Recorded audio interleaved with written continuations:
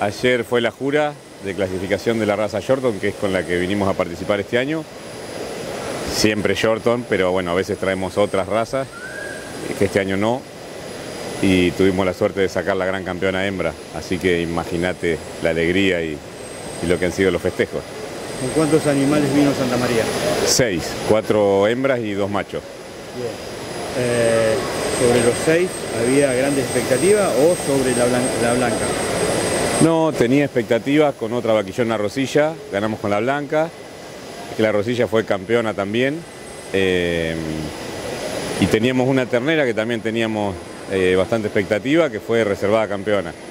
Eh, y un junior que, si bien es por ahí un, campeonato muy joven, teníamos por ahí pensado que nos podía dar algún premio de los grandes y bueno, fue campeón junior. No, los premios grandes los llevaron todos los toros adultos.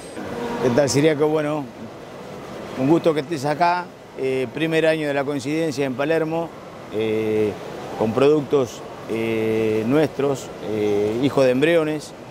Esta fila que ves atrás, son todos 18 meses, son de la misma camada.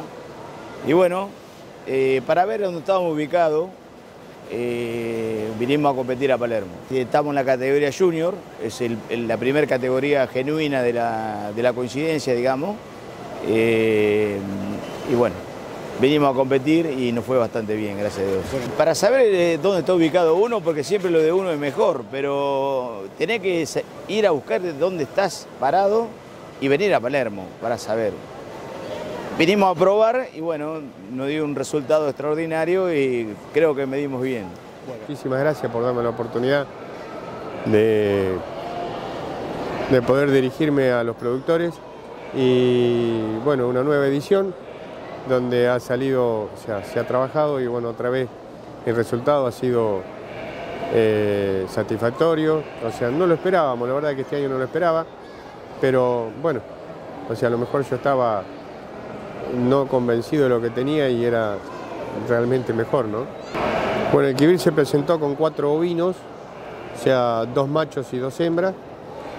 eh, y salimos con. sacamos el reservado campeón con el, con el carnero. Y con el- la hembra quedamos segundo y obtuvimos el premio especial a mejor vellón. El campeón es de la cabaña que soy socio, que como en algún momento expliqué, es una cabaña eh, que es la que trae al, el Rome al país, o sea que es una cabaña que tiene 130 años, o sea eh, que bueno, trabajamos ya hace, desde el 98 que trabajamos eh, eh, juntos. Buenas tardes, Siriaco, ¿qué tal? Bueno, acá estamos acompañando nuevamente a, a Charles con una, una joven, en- vaca joven en sociedad. Va a salir a la pista ahora en breve. La verdad que tenemos fe, está muy muy buena la, la vaca Cleopatra, así que bueno, se ve muy lindo el ternerito, tiene una ternera de dos meses y está impresionante el volumen que tiene. También la ternerita, así que la verdad que muy contento.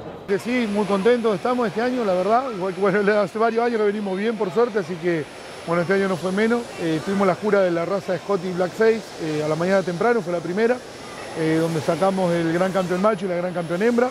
Y bueno, sorprendió también porque un premio que no estaba estipulado, bueno, lo quiso dar el jurado.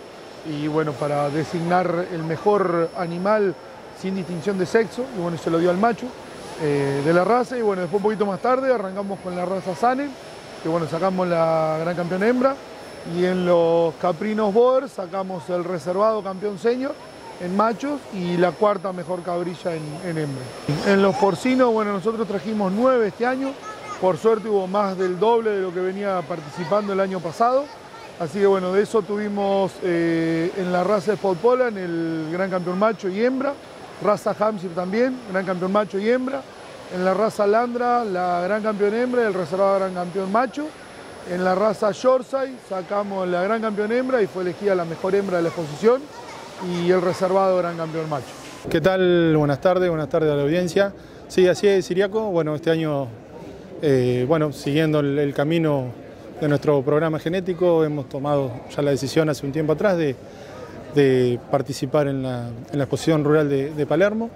Eh, en este caso debutamos con una ternera de la raza Angus, la categoría ternera mayor, eh, logrando un tercer premio. Eh, de esta manera, bueno, quedando muy conformes con, el resultado. es nuestra primera vez.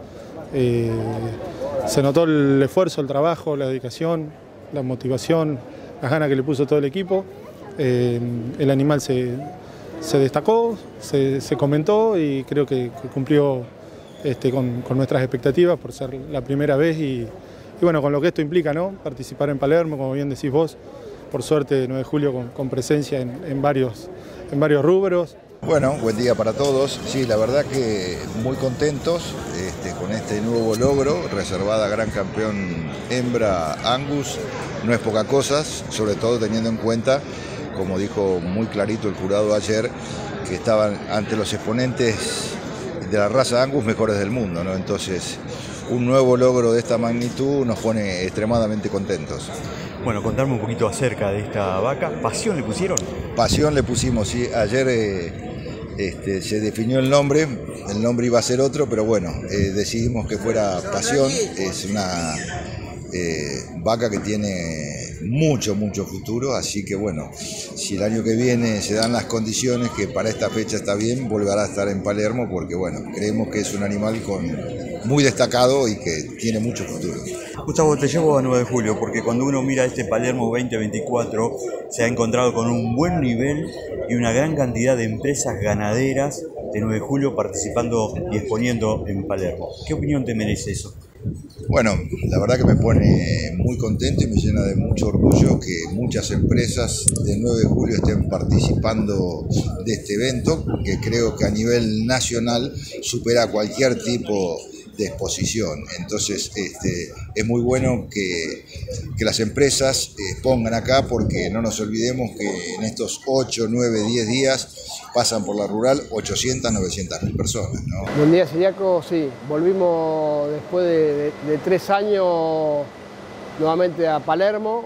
Era, algo que estaba, estaba pendiente y, y veníamos trabajando para eso. Y bueno, la idea es empezar a a concurrir nuevamente y ver un poco lo que producimos nosotros y ver un poco lo que produce las distintas cabañas. Y bueno, hay una forma de, compararse y medirse, es venir a, venir a Palermo y, ver a ver un poco lo, que está haciendo el resto de las cabañas y un poco el ángulo a nivel nacional. Es un largo camino, empiezan los, animales ya a los tres meses de, nacer. Eh, empezamos con lo que se llama mamadero, que es un destete temporario entre el ternero y la madre el ternero está con una ración durante el día y entre la mañana y la tarde la, vaca entra al mamadero que se llama, que le decimos, y a mamar un poco hasta, hasta el destete casi, digamos, que empieza un trabajo de todos los días, que están los chicos o, el que está de guardia el fin de semana para, para ayudar con eso, para que no tenga problemas de, ya sea problema hepático, el problema que se hincha el ternero, es un trabajo que lleva. Y después, bueno, empieza ya, empieza ya los tres meses a las primeras atadas para que vayan amansando, porque cada vez que lo va agarrando cada vez más grande, cuesta más amansar el ternero y que se acostumbre y, que sea dócil para combinar. Y bueno, ya de, no sé, de 20 terneros, capaz que llegan para exposiciones, 3 o 4, vinimos con 5 animales, dos terneras, una negra y una colorada, dos vaquillonas, negras y un toro colorado senior que va a entrar a la tarde.